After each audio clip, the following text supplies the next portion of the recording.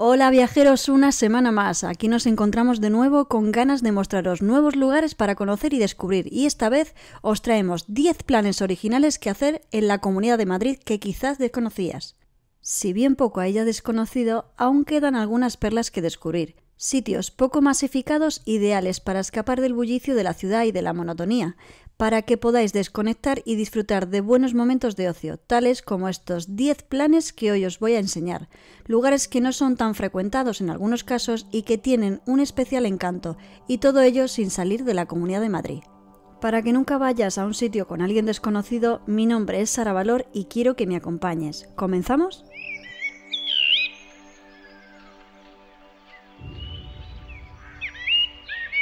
En primer lugar, os hablamos quizá del lugar más conocido dentro de esta lista, y es Buitrago de Lozoya. Esta preciosa localidad se encuentra al norte de la capital española y sobre el río Lozoya. Su gran y principal atractivo es la muralla de 800 metros que rodea la zona del casco antiguo. Una muralla construida por los musulmanes y tal vez en los primeros años de la conquista cristiana, entre los siglos XI y XII. El conjunto monumental de Buitrago de Lozoya fue declarado Monumento Nacional en 1931. Para acceder a la zona antigua hay que pasar bajo la Torre del Reloj, que data del siglo XIV. El castillo de Mendoza, de estilo mudéjar y reforzado por siete torres de diferentes estructuras, ha acogido a grandes personajes de la realeza. De las cuatro iglesias que hubo antiguamente, solo se conserva la de Santa María del Castillo, del siglo XIV, de estilo gótico y mudéjar. Cabe destacar el Museo de Picasso, donde se exponen los cuadros que el pintor le regaló a su gran amigo el peluquero Eugenio Arias, que más tarde donó a su pueblo natal. Hacer turismo rural en Buitrago de Lozoya es una maravilla. Su casco antiguo fue declarado bien de interés cultural en 1993 y además tienes un montón de opciones de ocio por la zona. Te animamos a descubrirlas. Ahora vamos a conocer el búnker de Cabezalíjar. Este lugar, convertido hoy en refugio para senderistas y mirador fantástico, fue un búnker construido durante la Guerra Civil Española en la cima de la montaña a la que da su nombre. De noche, sus vistas son espectaculares, pudiendo avistarse tanto Madrid como otras poblaciones tales como Guadarrama, Cercedilla y Navacerrada. Pero lo que más llama la atención es el espectáculo que ofrece un cielo sin contaminación, tan cerca de la ciudad cuyo cielo estrellado es difícil de ver. En tercer lugar os mostramos las cascadas del Charco del Hervidero, antes de llegar al río Jarama, donde desemboca el río de Guadalix, al paso de San Agustín de Guadalix nos topamos con este maravilloso paisaje, la doble cascada del charco del Hervidero. Pero para llegar hasta aquí, nada mejor que seguir alguna de sus rutas, en la que los niños pueden acompañarnos sin problema. No existe peligro para ellos y es bastante facilito. Podéis comenzar en la Laguna de los Patos o zona recreativa de los Patos. A partir de aquí deberemos cruzar varios puentes y contemplar alguna que otra pequeña cascada. Como el recorrido es circular, no pasaremos por los mismos sitios para llegar al punto de partida. Si pasas por el mismo sitio es que has dado la vuelta sin querer. Siguiendo la senda, es entonces cuando vemos vestigios del canal de Isabel II, concretamente de dos acueductos de la Sima y de la Retuerta. Ahora vámonos al suroeste de la capital, justo al envase de San Juan. Vamos a Pelayos de la Presa. Este pequeño pueblo de más de 2.600 habitantes alberga tesoros tan impresionantes como la iglesia de Nuestra Señora de la Asunción, que quedó destrozada durante la Guerra Civil.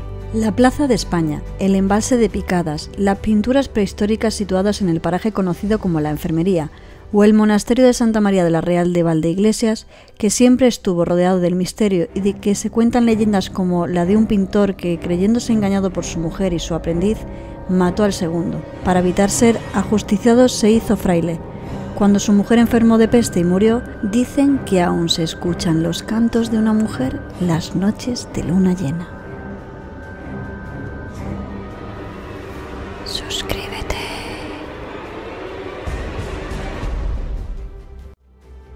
La Iruela.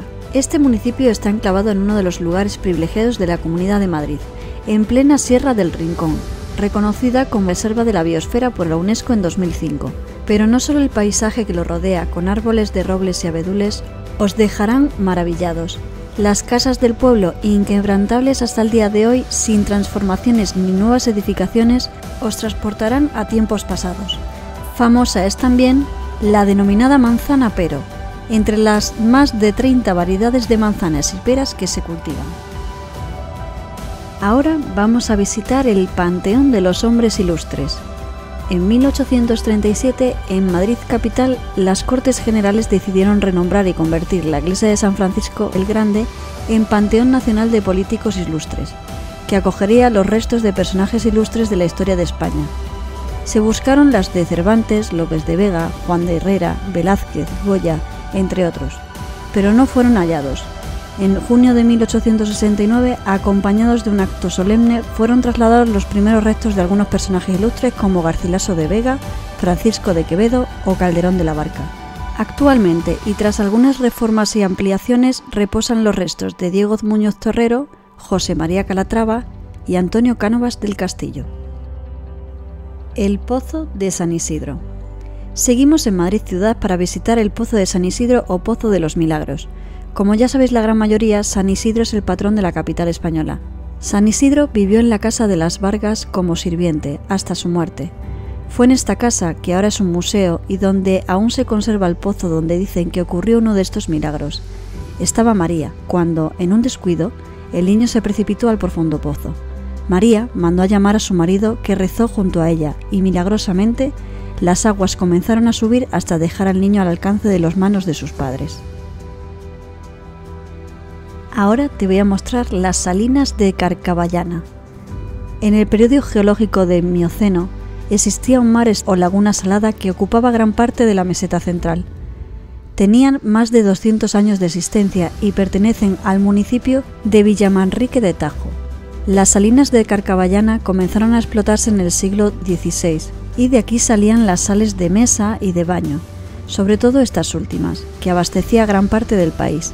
Además, se decía que las sales de manantial tenían propiedades curativas, por lo que durante un tiempo se usó como balneario.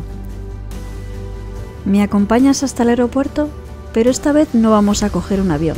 Se trata de un precioso jardín situado cerca del aeropuerto que se llama el Parque del Capricho, construido para los duques de Osuna, la duquesa creó un auténtico paraíso que visitaban todos sus invitados, pero a su muerte el jardín empezó a marchitarse y no fue hasta 1974 que el ayuntamiento lo compró y volvió a darle vida. Son muchas las cosas que puedes visitar en este parque como por ejemplo el jardín francés, el búnker de la guerra civil, el jardín inglés o la casa vieja. Sin duda, un lugar poco conocido, pero de una belleza indescriptible. Los fines de semana la entrada está controlada y existen visitas guiadas para conocer la historia del Parque del Capricho. Y con tanto ir y venir, nos empieza a entrar hambre, así que ahora toca el lugar de la Casa Botín, el restaurante más antiguo del mundo. En esta lista no todo iban a ser monumentos o paisajes. Para terminar, os traemos algo singular, una curiosidad digna de mención, y se trata del restaurante Casa Botín, actualmente llamado Restaurante Sobrino de Botín. Este restaurante tiene la peculiaridad de ser el restaurante más antiguo del mundo, así reflejado en el libro Guinness de los Récords, que ha hecho un hueco a este restaurante entre sus páginas que se inauguró en 1725 como fonda española. Su especialidad es la comida castellana, los buenos asados de cochinillo y cordero al horno de leña, la sopa castellana y los postres clásicos caseros. Yo no sé tú, pero a mí me ha entrado hambre. Ve reservando que yo invito a la primera ronda. Y hasta aquí estos 10 planes originales que hacer en la Comunidad de Madrid que quizá no sabías. Como veis, algunos de estos lugares son más conocidos que otros y todos guardan en común que son una llamada a la atención para conocer algo nuevo donde poder desconectar de la rutina. ¿Qué te ha parecido? ¿Cuál te ha gustado más? ¿Has estado en alguno de ellos? comparte con aquellas personas que te gustaría pegarte esa escapadita y si sabes de otros tesoros escondidos de la Comunidad de Madrid, te invitamos a ponerlo en los comentarios, como el Parque Europa de Torrejón de Ardoz, que podremos hablar en otro vídeo. Un lugar increíble donde viajarás a un montón de sitios casi sin moverte de aquel lugar. Si nos contáis en los comentarios ideas suficientes, haremos otro post más adelante nombrando a aquellos que nos dieron la idea. Si te ha gustado este contenido, manita arriba, suscríbete y dale a la campanita y te llevaremos de viaje cada semana. Que tengas un feliz día aquí, donde comienza el viaje. Descubre, disfruta y desconecta.